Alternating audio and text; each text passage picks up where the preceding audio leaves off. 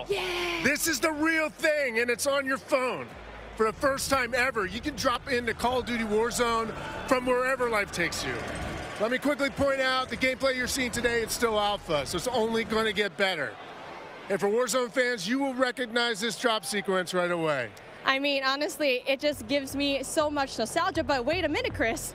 Is that the legendary Verdansk? You know, this is where Warzone gameplay was born, and we're bringing the legendary Verdansk map to mobile for the very first time from its hallmark vistas and these dense urban areas. They're just so much fun to play in. Wide open fields, ready for battle, and intimate, close quarters combat environments. There's so much variety in Verdansk.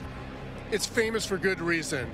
Teeming with fan favorite locations like Boneyard and Superstore even TV station.